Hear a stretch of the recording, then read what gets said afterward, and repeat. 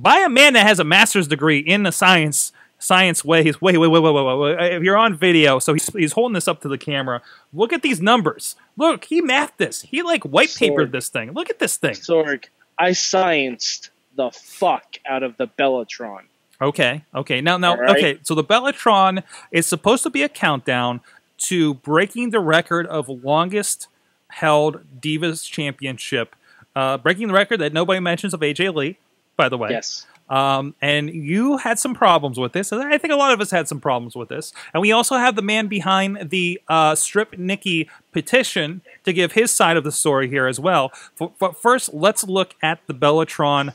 What did you determine, Mike? Okay.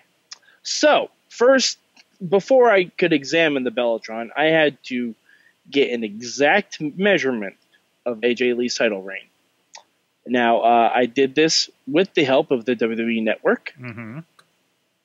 Um, AJ won the title on June 16, 2003. I'm doing all of this in Eastern Standard Time because fuck the West Coast. Um, Whoa. A- AJ won the title. Sorry, so, sorry, Alex. Yeah, sorry, Alex. Um, Garza Garza is saying I need to show numbers and cite sources. I have numbers and sources, motherfucker. Um, AJ won the title at June 6, 2013 at 8:35 p.m. and 3 seconds. And she lost the title on April 7th, 2014 at 10:19 and 37 seconds p.m. That makes for a title reign of 295 days, 44 minutes, and 34 seconds. That's a long fucking title reign, people. Mhm. Now, Nikki Bella, who won the title from AJ at Survivor Series last year, if you guys will remember, it was horrible. It was uh, the kiss of death repeated, and it was awful. Uh, but she won the title on November 23rd, 2014, at 9:51 and 4 seconds p.m. Now, this is where it gets interesting because last night on Raw, they had the Bellatron come up around 10:30 and 45 seconds p.m. Eastern Standard Time. And at that point, Nikki's title reign was 288 days, one hour adjusted for uh, daylight savings time. and yes, I took an hour off of AJ's. Wow. Yeah, I'm telling you, science, fucking science. 288 days, 1 hour, 39 minutes, and 41 seconds.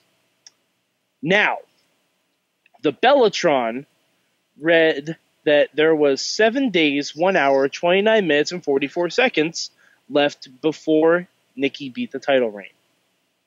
That's bullshit. It's bullshit, Sorg.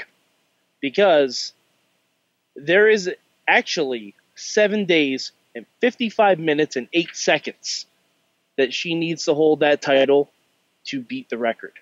So, in other words, as long as Nikki keeps her belt all the way through next week's Raw, she has the record.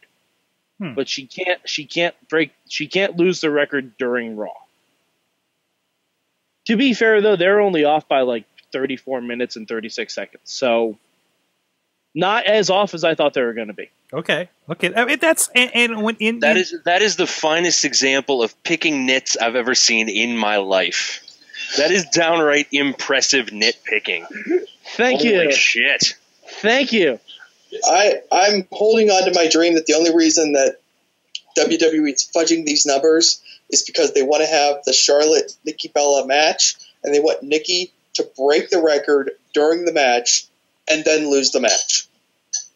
Yeah, see the thing is, um, they would be better going by the actual numbers than the number they have on the Bellatron because judging by the Bellatron, uh, that record ends after Raw is over. wait. so accor- if they acco- go, if- according to if the they go- it's after Raw. yeah, yeah, because they the graphic came up at ten thirty and it said there was an hour and twenty nine minutes, so that that's over at like midnight. I feel like. They- do you feel like, as I do, I I, I think, I think I think they measured it to the end of the day. okay. like like to to September 15th. Like when September 15th start, that's when she officially has 296 days. So I mean, I, I think that's what they're going for. But if they want to get real technical about it, you know, Nikki has to lose the belt within like the first hour of Raw. Otherwise, she already has the record. Yeah, yeah. Garza said he wasn't. uh, He calculated that the record should be broken during the first hour, so he was right. hmm But yeah, I mean, if they wanted to do something like that, it makes more sense to go by the actual number rather than just the number of days. Certainly, certainly. But yeah, anyway, fuck Nikki Bella. We need to get that belt. off. Maybe maybe they forgot the factor in daylight savings time, like you did. No, uh, no, I no, I think they're literally just counting the number of days because at ten thirty they Mhm. showed the thing last night, so it'd be an hour and a half left in the day. Garza calculated the the record to be broken in the first hour. He, he, Yeah. I think he concedes Yeah. that he might have been the one off. So, uh, one uh, great great bit of math making.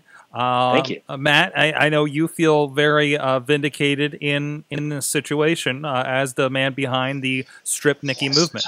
Mm, yes, you know, not the first time that this show has been ahead of the curve. Sorg, we're about two two and a half weeks early on the uh, enough of this Nikki Bella is Divas champion deal, hmm and now Charlotte has ripped off my petition idea.